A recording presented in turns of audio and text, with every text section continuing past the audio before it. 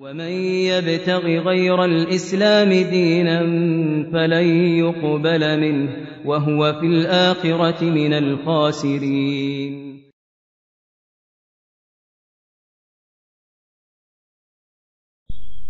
السؤال هل تجب الزكاة في الحلي؟ وكيف يتم إخراجها؟ هل بالقيمة أم بالوزن؟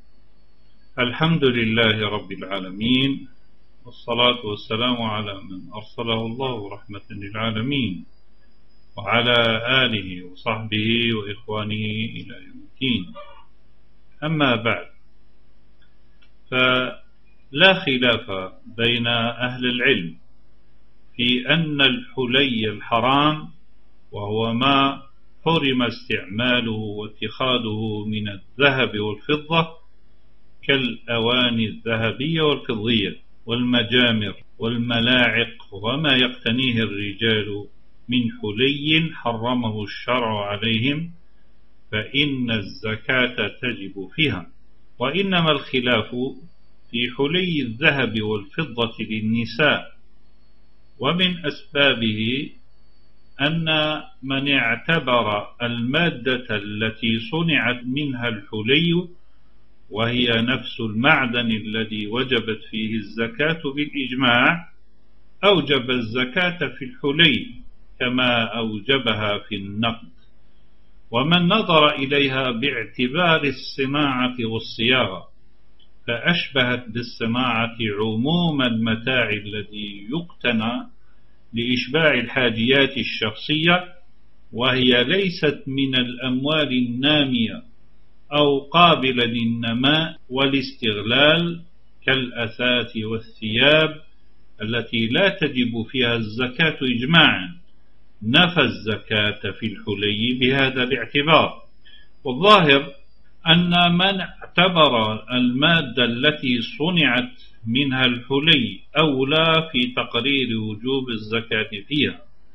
ويشهد لذلك عموم الآيات والأحاديث الشاملة لها والآمرة بالزكاة منها قوله تعالى يا أيها الذين آمنوا إن كثيرا من الأحبار والرهبان لا يأكلون أموال الناس بالباطل ويصدون عن سبيل الله والذين يكنزون الذهب والفضة ولا ينفقونها في سبيل الله فبشرهم بعذاب أليم.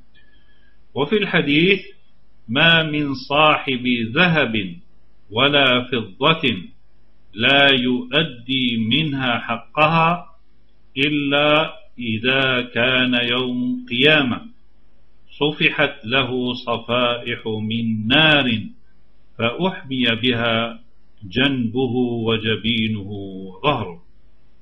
وقد اتفق العلماء على أن المراد بالكنز المذكور في النصوص هو كل ما وجبت فيه الزكاة فلم يؤدي زكاته.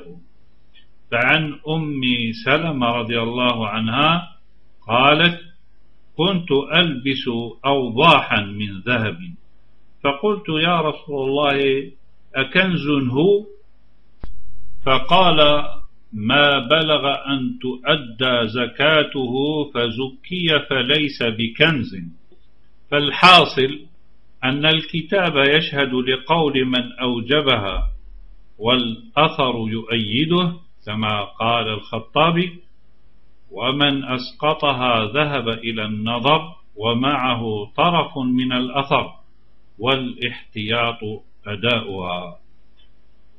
والاعتبار في الزكاة بالوزن لانضباطه لا بالقيمة لاضطرابها ولأنه قد اعتبرنا الحلي من المعدن الذي خلقه الله ليكون نقدا يجري فيه التعامل بين الناس.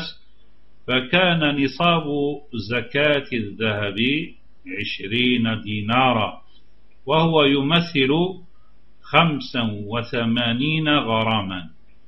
وفيه ربع العشر اثنان ونصف في المئة. أما نصاب الفضة فمئتا درهم وهو يمثل خمسمائة خمسة وتسعين غراما. وفيه ربع العشر أيضا. والعلم عند الله تعالى. وآخر دعوانا أن الحمد لله رب العالمين وصلى الله على نبينا محمد وعلى آله وصحبه وإخوانه إلى الدين وسلم تسليما.